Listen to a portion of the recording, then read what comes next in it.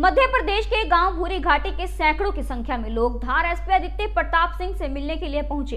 उन्होंने न्याय की गुहार लगाई। दरअसल, गाँव भूरी घाटी में मानपुर की पुलिस ने किराना व्यापारी जीवन ठाकुर के घर पर अवैध शराब बेचने को लेकर दबिश डाली थी।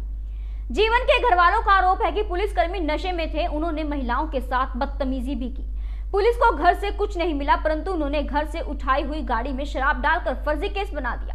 अब मानपुर पुलिस मामले को लेकर अलग अलग बात कर रही है।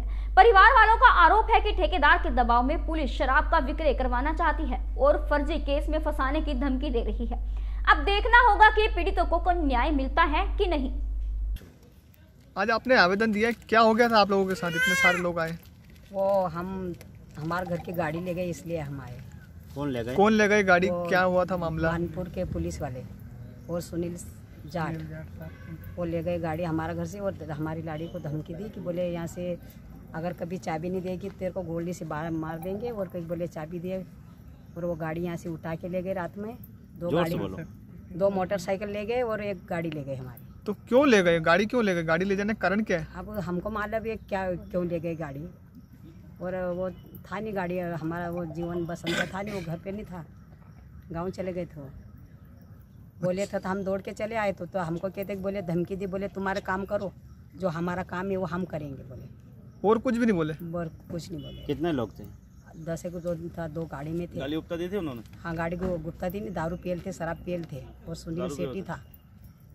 वो थे साथ में और उनको दारू पिला के लाया और उस गाली गुप्ता दी। नाम क्या है आपका? निर्मला भाई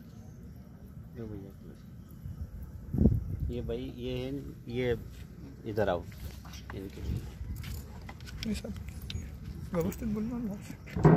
JBD Banquets lie हैं incredible marriage palace Rajgharana and the finest banquet hall Jyoti Garden.